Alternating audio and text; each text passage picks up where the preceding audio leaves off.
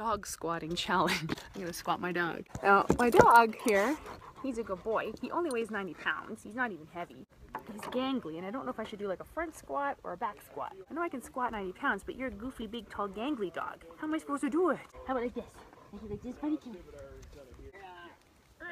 Oh my god. Okay, okay, okay, okay. I got him.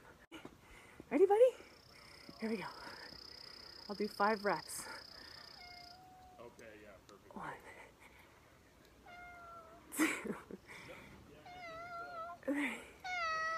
Cat is meowing in the background.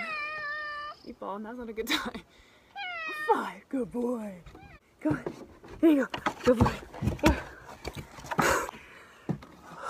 There you go, internet. I did it. Next up, cat bicep curls.